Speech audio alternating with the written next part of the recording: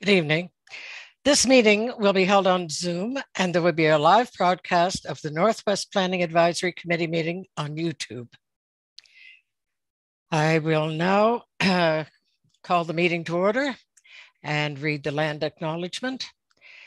The Halifax Regional Municipality is located in Mi'kma'ki, the ancestral and traditional lands of the Mi'kmaq people. The municipality acknowledges the peace and friendship treaties signed in this territory and recognizes that we are all treaty people. We'll now have the roll call, and I'll ask members to introduce yourselves as I call your name. I'll begin with Councillor Kathy Deagle-Gammon. Good evening, everyone. Um, representing District 1, Waverley, Fall River, Musquodoboit Valley, and happily showing the tartan for uh, National Tartan Day. Thank you. Councillor Tim Outhit. Good evening, Madam Chair and colleagues uh, from uh, sunny, beautiful Bedford, Wentworth.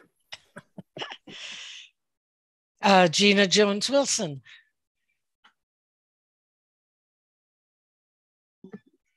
Good evening, Madam Chair. Gina Jones Wilson, Upper Hammonds Plains. Thank you. Jacqueline Lever. And I should have said Vice Chair, Jacqueline Lever.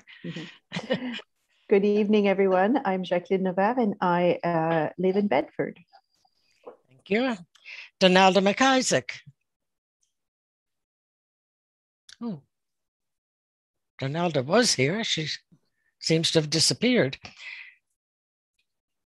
Okay, we'll move along and uh, Stacy Rutterham is uh, has given our her regrets for this evening. Mark Backerdax. Good evening, Madam Chair and colleagues. Coming to you from beautiful downtown Hubley, Nova Scotia. and Trevor Ennis. Good evening, Madam Chair. I'm uh, coming to you live from the sunny part of Beaverbank. and I'm Ann Merritt, the chair.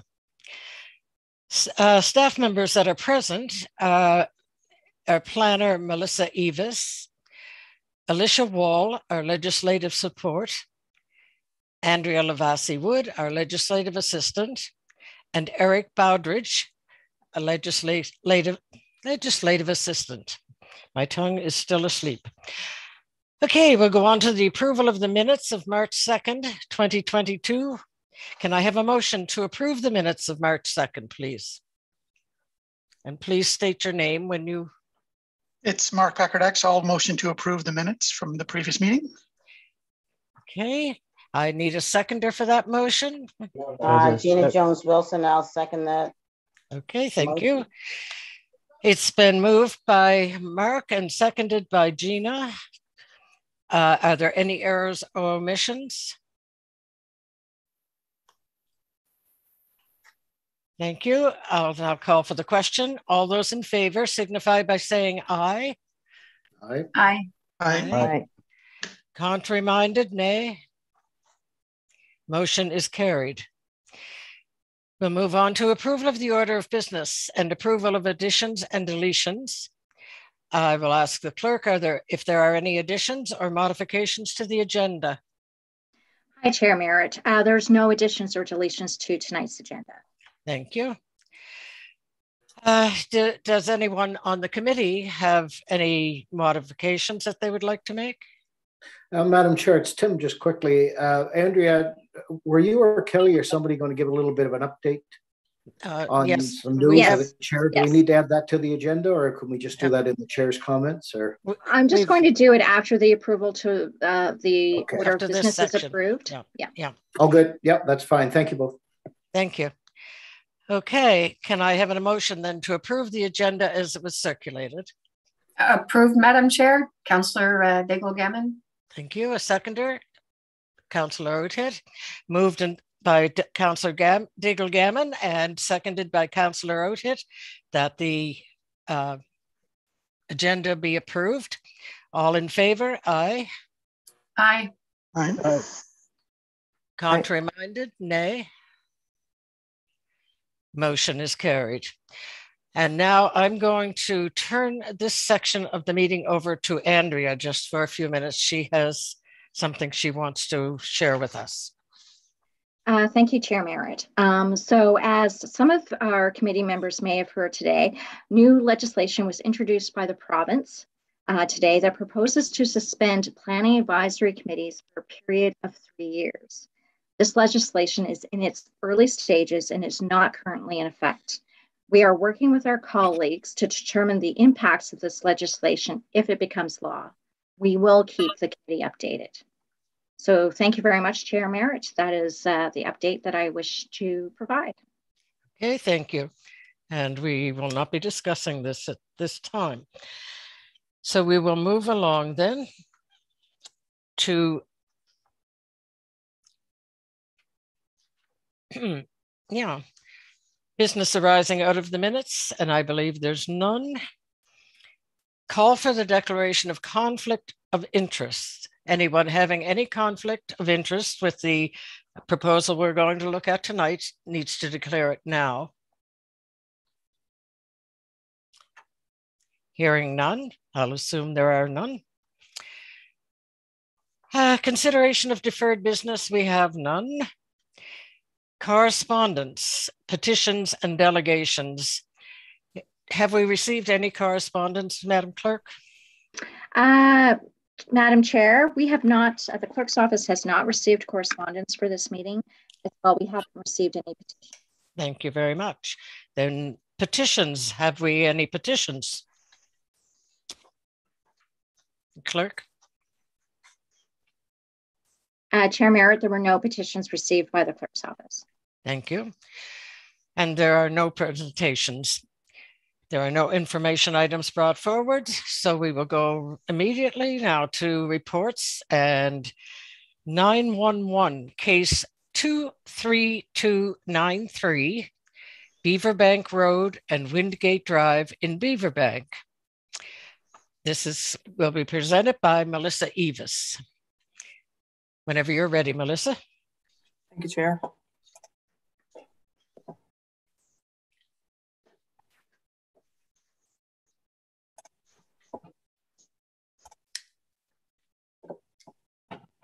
Does everyone see my screen? Yes.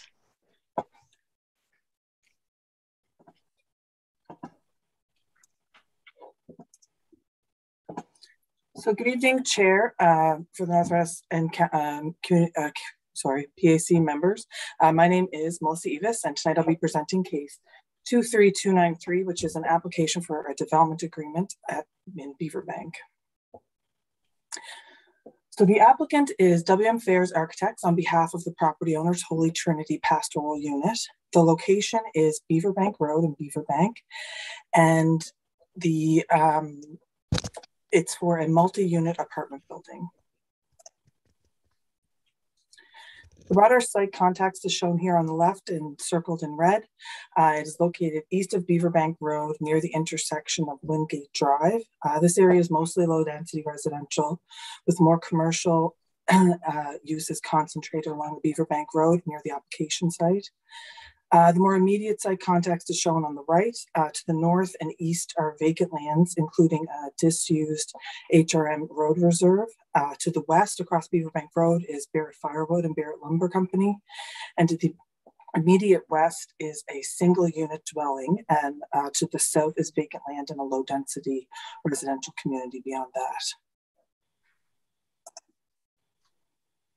So this is an aerial image of the site looking east, and you can see the single family dwelling located here.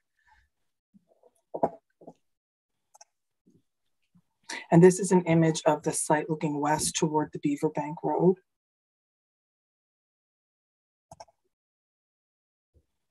And this is a street view of the site uh, at the frontage on the Beaverbank Road. So in terms of the proposal, the proposal is for a single building, four and a half stories tall, approximately 19 meters in height. Um, they've proposed 46 units, a mix of one and two bedroom apartments, 52% uh, two bedrooms, no three bedroom apartments proposed. Driveway access is proposed off of Beaverbank Road. Um, there are 68 parking spaces, um, which results in about a ratio of 1.4 spaces per unit. Uh, there are 32 uh, surface spaces, and then 36 will be located internal to the building. Uh, there's additional landscaping and fencing has been proposed to act as a buffer between uh, the development and the proposed and the existing single family dwelling next door. Uh, the details of this landscaping are still being finalized, but essentially will consist of a fence, an opaque fence and some trees or, and um, soft landscaping. These are some renderings of the building as provided by the applicant. Um, so what do policies apply to this site in particular? First, the property is zoned R6, which is the rural residential zone within the Sackville land use bylaw. This zone allows single unit dwellings, daycare facilities, bed and breakfasts, home occupations. It also allows some resource uses such as agricultural and forestry uses, fishing uses. Uh, open space and institutional uses are also permitted under the zone as of right. Uh, the property is designated urban residential under the Sackville uh, municipal planning strategy. Um, and there are currently no existing uses on the property, it's vacant. The enabling policy that allows council to consider this proposal is UR8 under the Sackville planning strategy.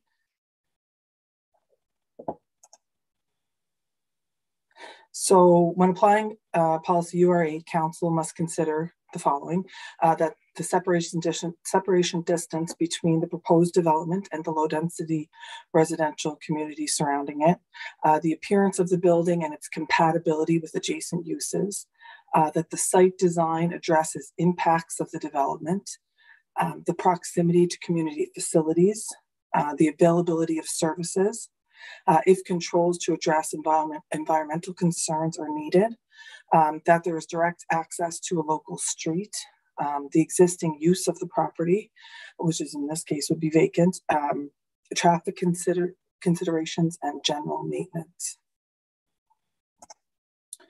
In terms of engagement, the level of engagement completed was consultation through a mail notification and a public information meeting, which was held on March 9th. Um, feedback from the community generally included the following. Uh, the development is not in keeping with the character of the community. We're losing a sense of nature in Beaverbank. It's a big city look and feel. Traffic is a concern. Um, the availability of amenities such as schools, uh, privacy for nearby residents, um, that they would like to see more three bedroom units, and that there are no apartments to rent in the area, so it would be a welcome addition. Notifications mailed out were 450. Uh, I received a combination of emails and phone calls, totaling nine. Um, our website for the application had 1,150 unique page views, uh, and the virtual public information meeting was attended by five people.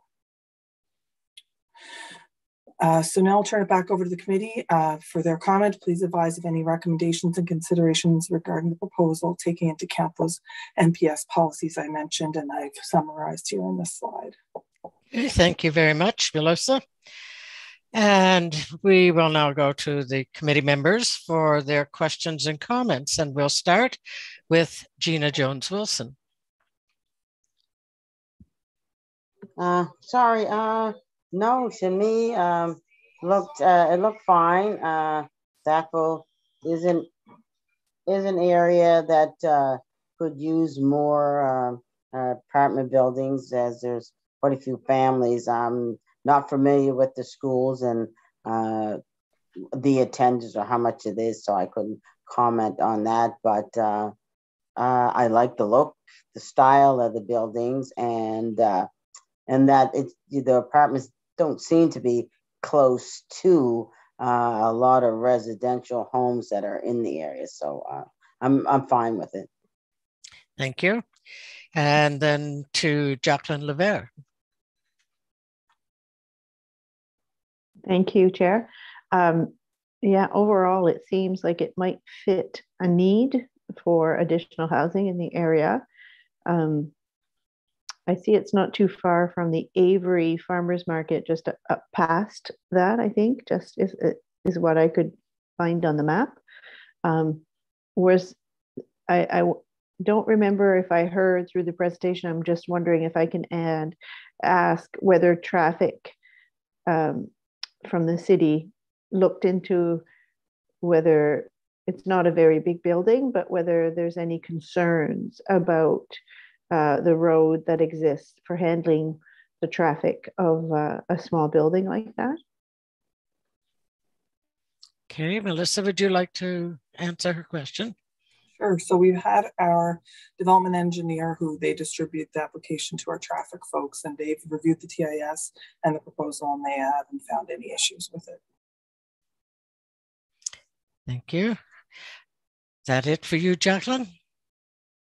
I guess I kind of wondered if there was, do we ever get any idea when we're looking at these? It hits my mind more now, but on do they ever give an estimate of what the cost would be? Like, do they give a, a range of what they would look at to charge for those apartments? Like, is that part of what they need to submit?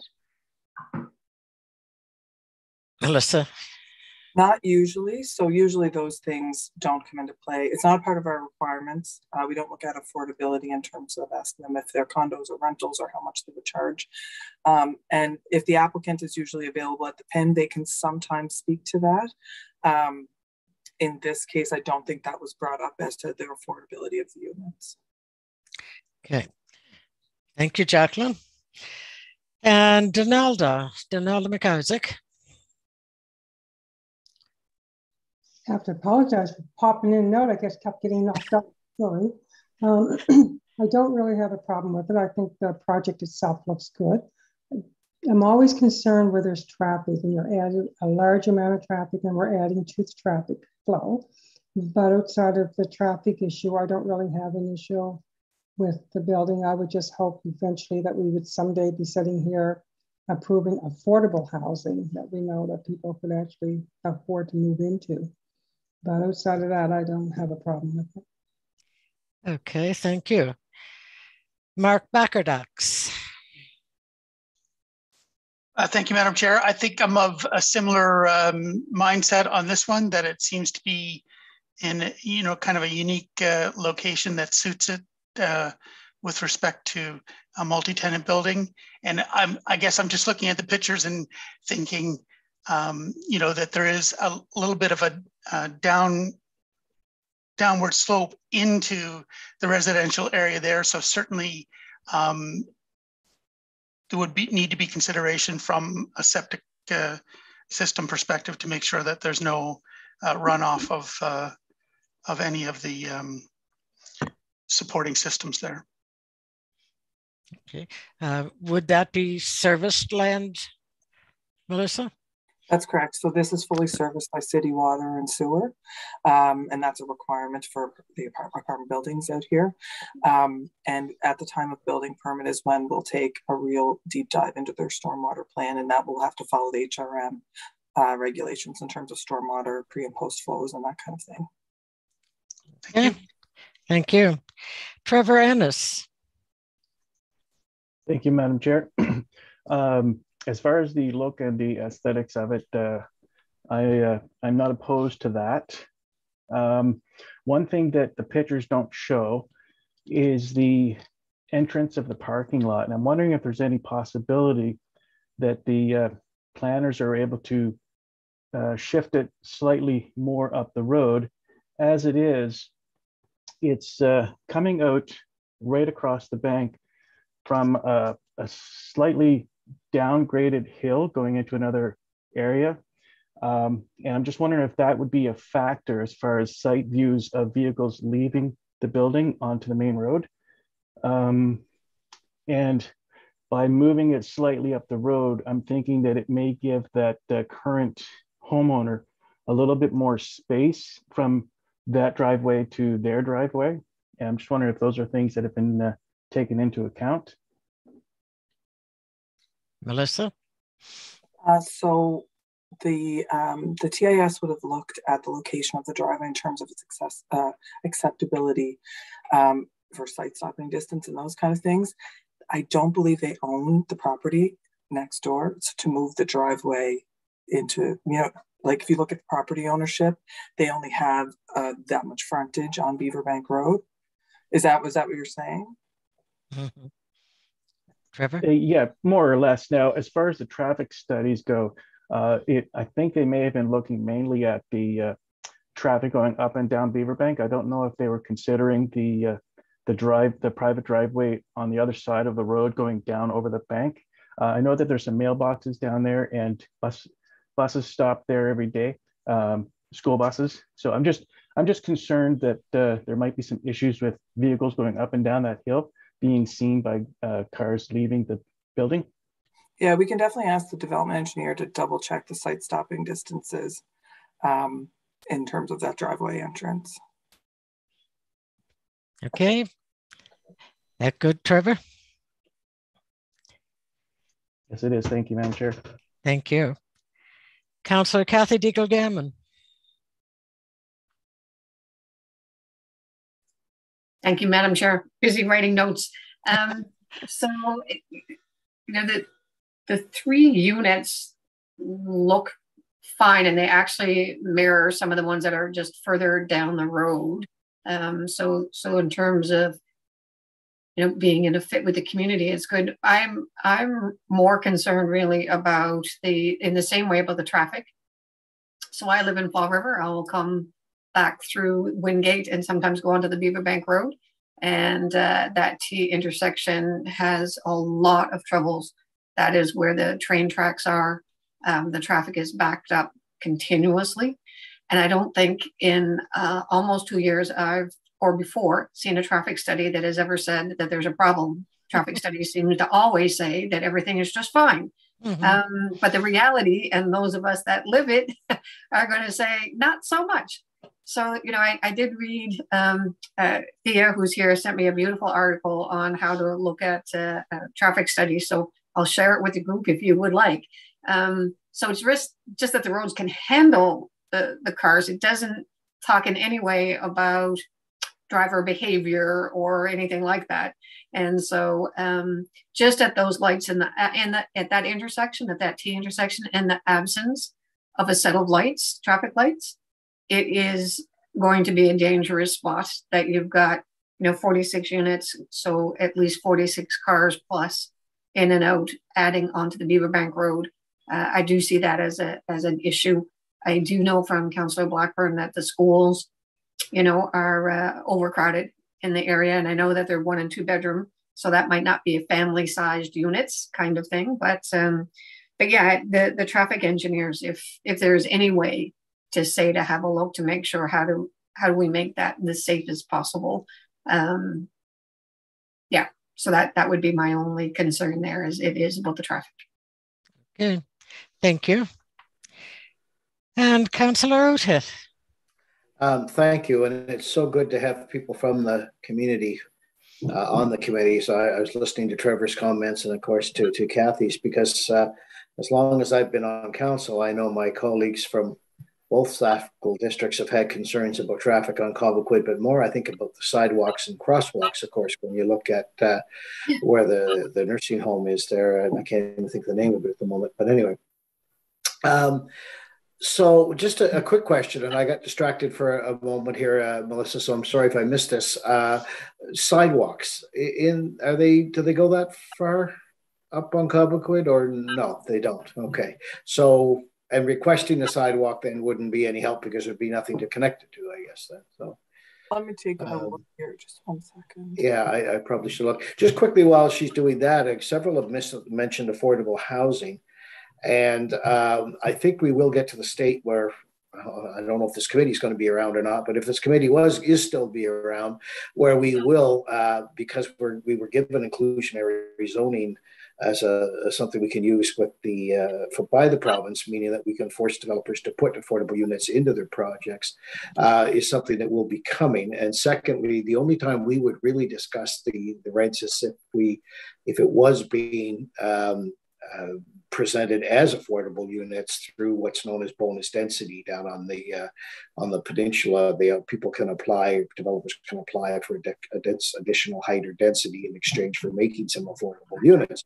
Unfortunately, that doesn't apply yet in the suburban and rural areas, but we're, we're working on that as well. So just a little FYI for the uh, for the folks because they brought up a very good question about affordable housing. So what's the answer on sidewalks, Melissa? Sorry. Yes, there is sidewalks in front of the development.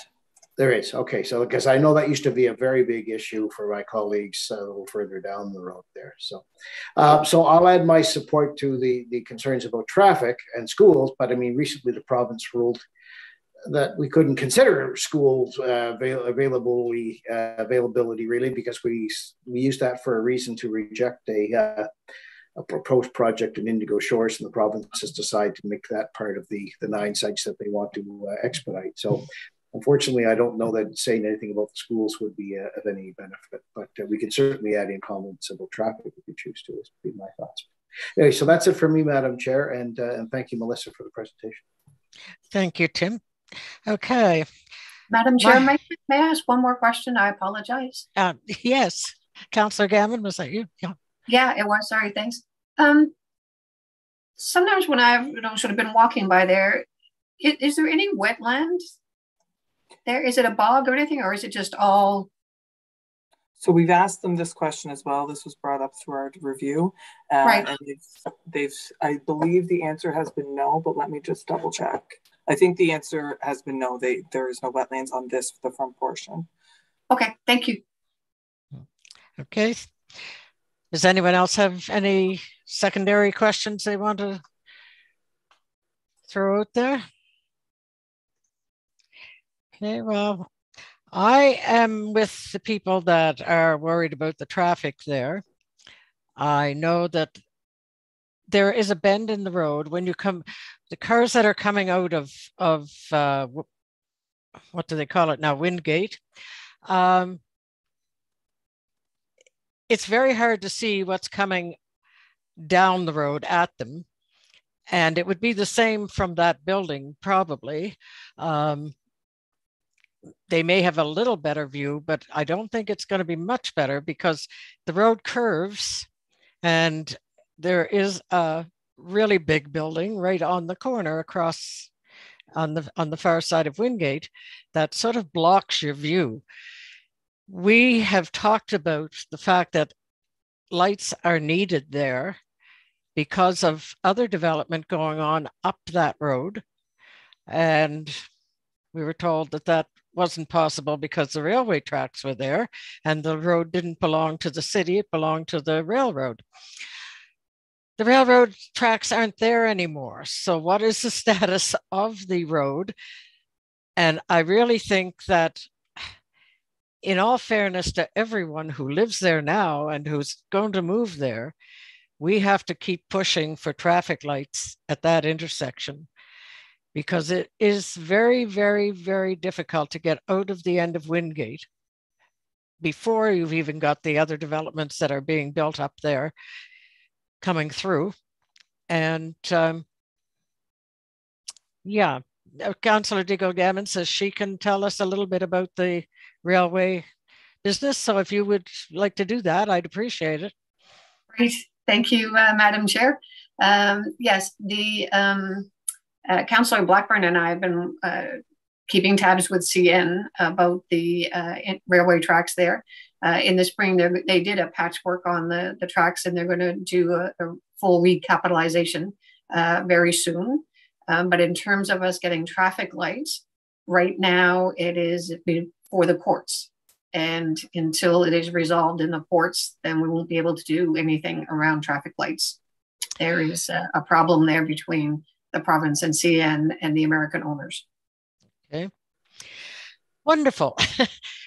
but I think we still need to note that in our recommendation that that is a bad intersection that may be made maybe won't be made worse by the apartment building but the people in the apartment buildings may suffer because of it in as much as it's uh, it's not going to be easy to get out of there at any time of the day because just to add a little bit of human interest, I used to have a hairdresser that lived on the Beaverbank Road. I no longer go there because I couldn't get back out again to come home. so, yeah, it's uh, it's one of those things. But okay, um, I will now ask for a motion. Um, we can uh, approve as it stands. Oh, and Trevor, did you want to, uh, did you have another question? You had your No, hand up I- for a while. No, I didn't have another question. I, I at the time I was just going to uh, uh, mention about the uh, wetlands. Uh, it wasn't in this area where the site is, but across the- across the street where the Barrett Lumberyard um, is located, there used to be uh, a wet area that they have since allowed to dry down to the to the bed. So uh, it's not an issue with this site. Okay, great. Okay. And I will now call for someone to uh, make a motion. And we can either move that it be approved as it stands. We can ask that it be approved with recommendations. And we can decide what those recommendations would be. I think probably traffic concerns. Uh, the, or we can ask that it be declined. And we still have to give reasons for that. So Trevor, I just wanted to recognize Melissa has her uh, hand up there. oh, I'm sorry. Yes, oh, thank Mel- you. Oh, I just wanted to add to Trevor's um, comment with the wetlands. I found our review of the wetland. There is a portion at the back of the site that's wet um, that they think might be wet. So through the course of the application, when it comes in for permit, they'll have to get a, um, a permit from Nova Scotia Environment to alter that if it is found to be a wetland. Uh, it's not where the building it is. It's more uh, southern southwest. Um, but I just want to put that on the record. okay, thank you. Okay. All right, did someone want to make that motion? Oh, somebody has to. I I'll- will I'll make a motion, uh, sorry, Chair. Okay, well, okay. Uh, Jacqueline, would you like to make the motion then? I'll make a motion that the, uh, the development, that we would approve the development agreement, but that we would like to state our uh, worries or our concerns, sorry, with, about traffic and that the, um, the, you know, that we look at ways at making that safer for everyone, be it a light or something else that, uh, that the city can, can look at. So the concerns for traffic need, should be addressed as the building goes up. Okay. Right, and Trevor, would you like to second that? I'll second that motion. Okay, moved by Jacqueline and seconded by Trevor that we approve the uh, project with recommendations that the traffic situation on Beaver Bank Road be taken into consideration. Is that Uh, about, Ma- Ma- Madam Chair, just a thought, the traffic situation, so we don't think, and Melissa can probably guide this through, Yeah. but we don't want it to think it's the traffic volume as much, because I think that the, the TIS the studies dealt with that, but I think maybe a little bit more prescriptive on whether it's the, the need for the lights or the visibility of getting out of the site. Okay. We we might want to massage those words just a bit. okay, I will call on Alicia to tell us what she has. Yes, hi, Madam Chair. Good evening, everybody. Um, so what I have is that the Northwest Planning Advisory Committee has reviewed the application for case 23293 and recommends approval of the application with consideration given to traffic mitigation and installing lights at the intersection of Wingate Drive and Beaver Bank Road. Is that, that satisfactory to everybody? I'm not sure what you mean by traffic mitigation. Traffic mitigation would be reducing the numbers in my mind. Again, I thought we were concerned with visibility of the location of this development. So Sight lines. maybe Trevor has thoughts Yeah. on that. I don't know. Yes. I, I was uh, going to suggest a egress uh, and entrance into the driveway. Okay,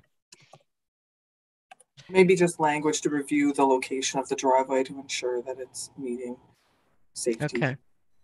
Yeah, keep it simple. That's great. Okay, Alicia, you've got that correction? I do, Madam Chair. Thank you. Thank you.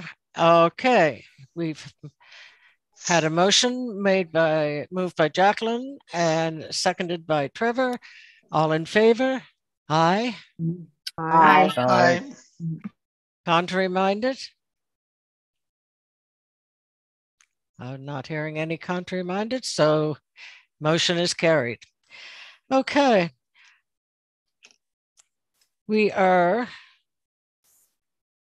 actually at the end of our agenda for tonight. And our next meeting will be May 4th, 2022, maybe. and it will be again virtually, I do believe. Is that correct, uh, Clerk? Um, I I believe so, Madam Chair. Um, we can just yes, virtually. Yeah. Okay. Okay, then with there's nothing else we need to discuss tonight, I will ask for a motion to adjourn, please. I'll move adjourn with my thanks to everybody and you, Chair. Okay, thank you very much. Moved by Tim, Councillor Tim, and seconded by Donalda McIsaac. Oh, sure. Yeah. It's been seconded by Donalda. All in favor of adjournment? Aye.